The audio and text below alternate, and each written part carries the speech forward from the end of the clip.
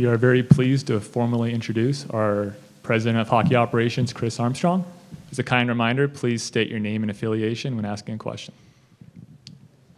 Thanks, Jeffrey. Uh, first of all, it's a pleasure to be here with all of you. Finally, get the opportunity to meet you, and I'm certainly looking forward to getting to know each of you better as we as we go along here. Just wanted to open with a few uh, comments, um, thank yous. In fact, uh, thank you to Ryan and Ashley Smith and Smith Entertainment Group for the opportunity to lead this organization forward.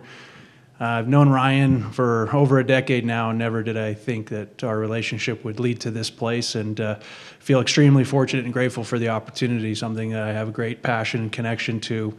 Uh, something that uh, you know a couple of years ago was just an idea that we were able to bring to fruition, and the opportunity to see that through um, and be the custodian of that uh, community asset for for Utah um, here in Salt Lake City uh, is something I'm really excited about and looking forward to. My wife Abigail's here. We're thrilled to move from LA. Uh, we're already here. We took our apartment uh, earlier this week, and I'm excited to be uh, to be a member of this community and and to help build something extremely special for this fan base and um, for this state. So. I also want to acknowledge uh, where I came from. And um, so, with great thanks to Casey Wasserman, um, you know, I've the experiences and opportunities that he gave me over the last 14 years really shaped um, the person and the career that I've had. And without that, you know, I, wouldn't have an opportunity like this. Uh, I wouldn't have had an opportunity to meet people like Ryan and Ashley Smith uh, over time. So I wanted to uh, to acknowledge that here, and um, and also, you know, I've had the great opportunity. We're we're doing everything in a much accelerated fashion, given the circumstances here, um, of obtaining this uh, franchise and, and moving it forward uh, for October the eighth, our exciting uh, opening night. But uh, I've had this great opportunity to get to know some really special people in a short period of time, starting with our GM, Bill Armstrong, who I think has done just an unbelievable job and doesn't get uh, enough credit uh, for how he handled uh, the uncertainty and the difficult times uh, that the team faced uh, over the last few months and, and really provided that guidance and stability to the group um, and to move them forward, to continue to move the organization forward. And I want to recognize that a lot of work was done long before Smith Entertainment Group arrived um, at, with this opportunity. And a lot of work has been done since. Um, and Bill has been unwavering in his leadership. Uh, Coach Bear has been, uh, uh, you know, an, an unbelievably uh, stable force with our players. Uh, and I think that needs to be recognized because for what we're trying to do, um, under the circumstances that we're doing it and the timeline that we're doing it, you need quality people in leadership positions. And, and that was certainly something we recognized early in this process is that we had that. And if we can give them the support and resources to reach to help the team reach its full potential, I think we're going to be very successful in a short period of time, and that's what gets us really excited. Um, you know, having just been through my first uh, my first draft with the group, I, I want to say that I was extremely impressed uh, by the leadership of our amateur scouting group led by Daryl Plandowski and Ryan Jankowski. Uh, got a, an opportunity to see uh, the staff that Bill, Daryl, and Ryan have assembled together, the collaboration, uh, the communication, um, the camaraderie between that group uh, was really impressive for us to bear witness to. Uh, and I'm not surprised by the exceptional results that we had uh, in the draft and, and, and the results predating our involvement with the team in the last several years of, uh, of making some unbelievable draft selections uh, that we got to see firsthand in development camp up in Park City this week.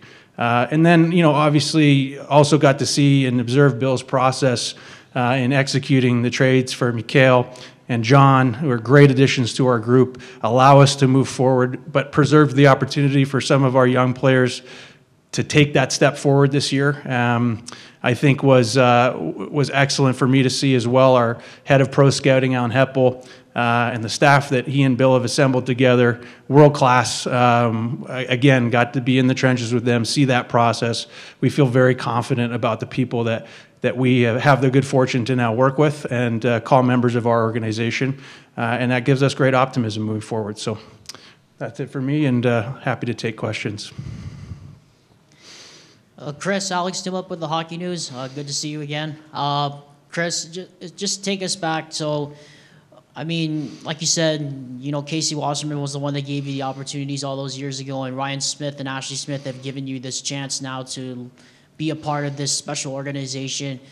Can you just talk about how your how your kind of your opportunity? What kind of was the first opportunity that you kind of got an inkling, like, okay, maybe this might lead me to a place one day where I might be a part of an NHL franchise? Alex, I don't. I think that's a good question. You know, I don't think I ever um, allowed myself to to see this necessarily this end end result. Right. Um, what I would tell you is uh, this kind of goes back a couple years uh, after Ryan and Ashley had acquired the Jazz. Um, and we were actually all on a flight together with Danny Ainge. At the time, Ryan was recruiting Danny to the Jazz, and we were talking about a whole host of topics, including the potential for the Olympics to come here. And Ryan asked me for, for my perspective on hockey. He was starting to develop this interest for hockey and had this idea that it could be quite complementary to what Smith Entertainment Group was trying to build for Utah. Um, winter sport, uh, fast growing, emerging uh, young market and uh, asked me, knowing my connection and, and, passion and background in hockey, what my perspective was. And that really started to snowball. First, he got Danny done, which was an important and key step to bring, uh, to bring DA to, uh, to Utah, which we all, which we all benefit from. Um, and then we started to go down this path of exploration with the National Hockey League to see what their interests might look like in the future for expansion and what opportunities there might be for Utah to be a part of that conversation.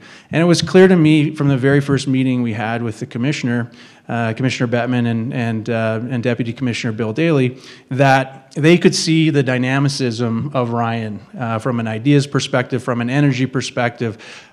I know leaving that meeting that they saw the potential in Ryan as an owner and what he could bring to the league. And, and, and frankly, you know, my context in that meeting as his friend, um, it gave me great enthusiasm for, for what he was going to turn that meeting into one day. For me, this is um, what I would say it's a dream scenario to work in hockey, period. Anybody in our organization would tell you that. All of our players would tell you they're living their dream of playing in the National Hockey League. I'm living my dream of working in the National Hockey League. There's no, there's no doubt about that. But what I would tell you, what drew me to this opportunity, and this is probably the only opportunity that would have caused me to leave Wasserman, frankly, um, was the opportunity to work with SEG. The opportunity to work with not only Ryan and Ashley, but Chris Barney, our chief commercial officer for the Jazz and, and for Utah Hockey Club, Caroline Klein, our head of communications, uh, Jim Olson, the president of the Jazz, John Larson, our CFO. These are all outstanding first class people. Ryan brings a tech entrepreneur, um, dynamic energy to the workplace at SEG, which I could feel from day one.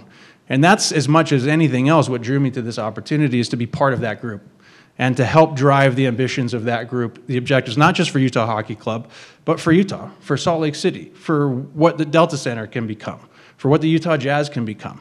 The opportunity to get in the trenches with those kinds of people and achieve something unique and special uh, is something that everybody here, I think, um, should view as a great opportunity to be a part of. There's going to be exceptional things happening in this market for many years to come. I think it's going to reshape the landscape here, and I think the rest of North American professional sports is going to take great notice of what's happening here.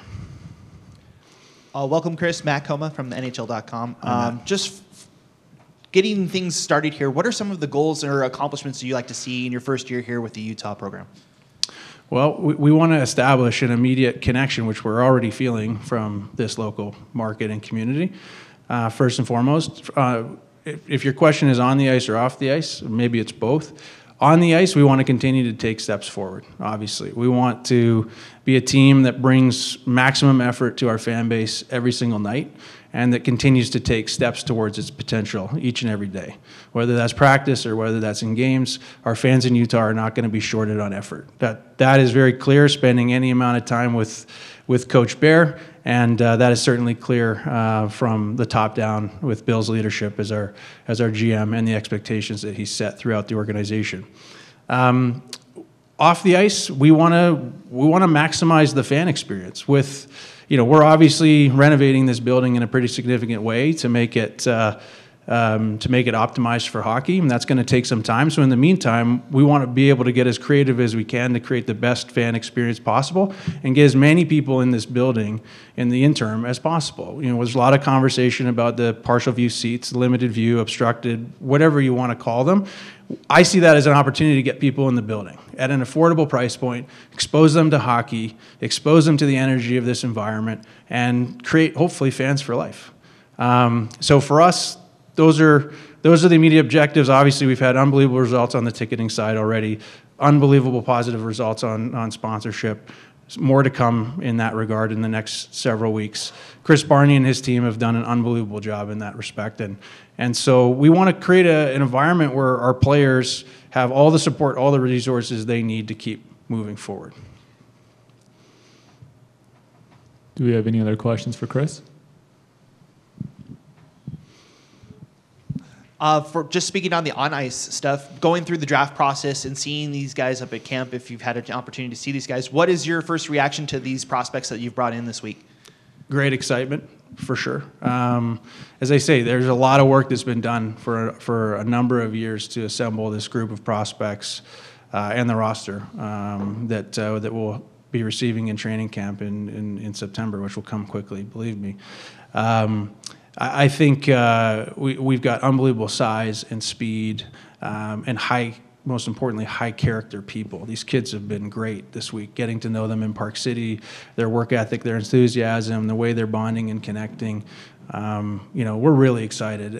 As Ryan has said publicly, when we went through this process, it came back to the people, right? Um, the opportunity here was to acquire uh, a first class roster um, an amazing, uh, um, an amazing group of prospects, and, and, and obviously certainly significant draft capital, but, but most importantly, amazing people from the hockey operations department to the coaching staff.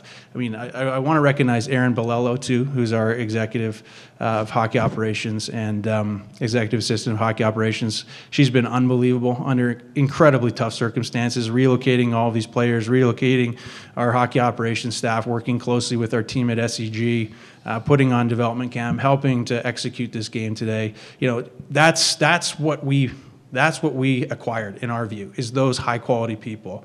And if we can give those people the additional support and resources to, to do their jobs, they're going to execute in a phenomenal way. You know, Chris, um, um, I, I got a, I, of course, I've been around you a couple days now, Park City, and been around you today, obviously. And um, I also got a chance to listen to Ryan's uh, press conference before the NHL draft last week, and um, he really talked about how he saw you and him, you and him and uh, Bill Armstrong as business partners. He doesn't see you as a president of hockey ops, or he doesn't see Bill as the GM, et cetera, et cetera, et cetera.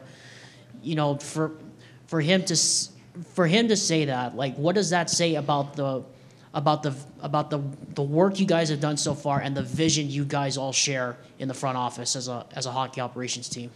Well, I think Alec, for us to reach the goals that we have for this organization, which is is obviously to win the Stanley Cup and and and the ability to do that more than once, is that we all are. If we're all aligned with the same objective and the same goal, then we're partners in that effort, right? And so there, there's no job too big or too small for anybody in this organization. If it helps us to take a step forward, then the expectation is that we're going to do it. And we're going to do it together. And we're going to have tough conversations, and we're going to make ourselves better from having those difficult and tough conversations. Um, I think that's that speaks to the the way that this ownership group, I think, is going to try to do things a little bit differently than, than other organizations, and that's where we see the opportunity. Is let's take our own unique and novel approach towards this, right? We're not trying to reinvent the wheel, but let's take this opportunity to set things up the way that we think it can be successful and do that from day one. All right. Thank you very much, Chris. I now invite Bill, Bear, and Mikhail back to the stage for a photo opportunity. If you guys have any uh, one-on-one requests, please reach out to me, McKaylee, or Adrian in the back. Thank you very much.